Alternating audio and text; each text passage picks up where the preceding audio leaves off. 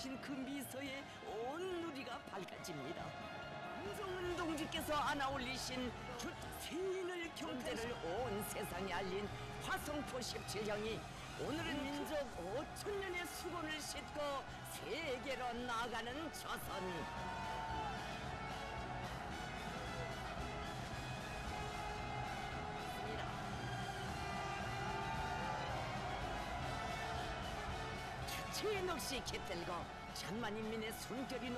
우리 핵무력의 기본 사명은 전쟁을 억제함에 있지만 이 땅에서 우리가 결코 바라지 않는 상황이 조성되는 경우에까지 우리의 핵이 전쟁 방지라는 하나의 사명에만 속박되어 있을 수는 없습니다.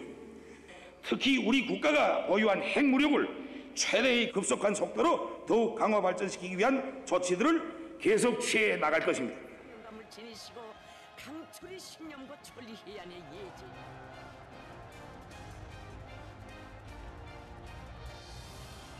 동락을 철러오는 화성파들 강대한 국가